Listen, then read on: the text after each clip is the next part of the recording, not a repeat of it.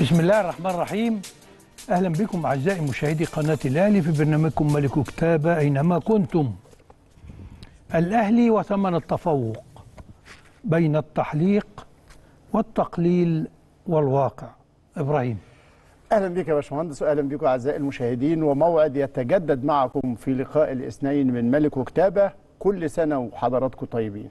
الحلقة 838 من ملك وكتابه بيبدأها المهندس عدلي ما بين التحليق والتقليل والواقع. إيه التحليق؟ التحليق إنك أنت كجمهور الأهلي عندما يتفوق الأهلي ويتألق ويحطم أرقامه بنفسه بيبتدي يحطك في مود أو في آه، يعني حالة لا تقبل الخروج من هذا التفوق بأي بأي ثمن إذا كسبت واحد يقول لك مضيعنا أربعة. إذا كسبت ثلاثة يقول لك كان ممكن نكسب سبعة. إذا كس- إذا تعادلت يقول لك يا نهار أبيض. الشوط إيه؟ الثاني وحش. مش الشوط الت- ده بقى التم... ال- ال- واللعيب نفسه بيقيم بطريقة آه يعني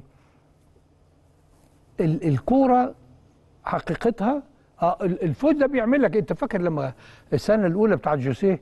آه. ال- ال- المذهلة دي. أيوه. وإحنا في, في اليابان أنا قلت لك إيه؟ الخوف من اللي جاي. قلت لك الخوف من اللي جاي لأن مش هتقبل أول هزيمة. آه. فإحنا هنرجع الدوري إزاي؟ ح- يعني أو أو أو آه، يعني آه، أو التعادل. أنت دلوقتي الناس عايزة الأرقام القاسيه آه، التحدي بقى في حتة تانية. أيوه. فعندما جاءت الخسارة في كأس العالم كسرت الحدة دي.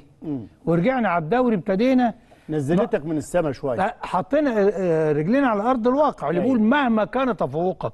أو تفوق أي نادي في العالم أي عمل مفيش بشري. حاجة اسمها فوز آه، آه، ولا ولا شيء غير الفوز. لا السيتي عمل كده ولا المدريد عمل كده. ولا البشر يعمل كده. ولا البشر عمل كده. آه. آه، ولا المنطق يقول كده لأن حسب قانون الاحتمالات. بالظبط.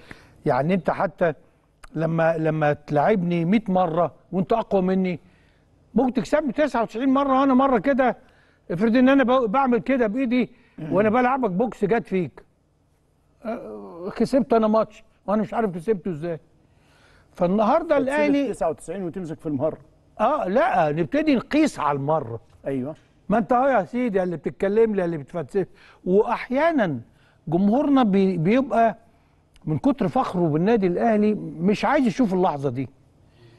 وده اللي حصل بمجرد ما تعادلت ابتدوا يفتكروا أخطائك في المباراة. الفرص اللي ضاعت واللعيب اللي مش موفق ولا ومن اللعيبة بقى مدة موفقة جدا معاك. إنما هو ده ال day off إن اللعيب الفرقة اللعيبة اللي قدامك اولا خلي بالك أسهل ما يمكن وخصوصا إذا كانت الفوارق مش حاسمة مش كبيره قوي يعني. إنك تعمل جيم دفاعي. لكن إحنا كمان عودنا الناس على ثقافة التهليل وت- و- وتكريم مثل هذا الأسلوب. أن تخرج أمام الأهلي متعادلا فاللي قدامك عمل كل شيء. اللي قدامك عمل كل شيء يناسب أهدافه يناسب اللي عايزه من المباراة يناسب الخطة الموضوعة. أنا مش عايز أخسر ولو قدرت اخطف من المكسب يبقى كويس. لكن أنت ما فيش إنت المكسب أو المكسب أو المكسب. فالفرق صعب. آه دي حاجة. الحاجة التانية التقليل بقى. المنافس ياخد منك المود اللي أنت عايشه اللي مش حلو ده ويبتدي يقلل من كل حاجة عملتها. وهذا هو المضحك في الأمر. إن تبص تلاقي حد يقول لك يا أبو خمسة. ما أنت واخد مني خمسة يا عم. خمسة وستة وأربعة آه لا واخد تحديدا. واخد مني خمسة. وما خدتش منك أنت خمسة. آه. أنت بتتباهى بحد تاني. آه، فيا ابو خمسة. نقوم إحنا إيه؟ عندنا ناس تتغاظ. آه. فترد. وتشيل هم وساعات ترد إيه بقى؟ انك تتضايق من فرقتها. وهنا كان في يعني قاعدة مع ناس أصدقاء. كنا بنتفرج على ماتش آه، البنك. مم. وجاء وصار جدلا يعني. آه، آه، آه، قلت لهم يا جماعة مش عايزين نعمم. يعني مش عايزين نقول إيه فلان وحش وفلان ده هايل. الهايل ده هيجي له لحظة مش هيوفق. والوحش ده لأنه هو في الاهلي فجاي على base كويس وشفناه في لحظات وهو كويس. ولما كان في بداية الموسم كان كويس جدا. لما اتعور قلقنا كلنا ها؟ فلاعب النادي الأهلي بالذات كلنا عارفين إنه معدنه كويس. ده محتاج الدعم. ومش محتاج الدعم وهو كويس ما هو كويس. ومنتشر محتاج الدعم انك ما تقرص عليه لما ما يبقاش موفق لأن إحنا بنوتره زيادة. آه كولر بيشير بذكاء إلى المواضيع دي في المؤتمرات بتاعته. ولكن تعميم الجمهور لا مين الجمهور؟ الجمهور ده 80 مليون.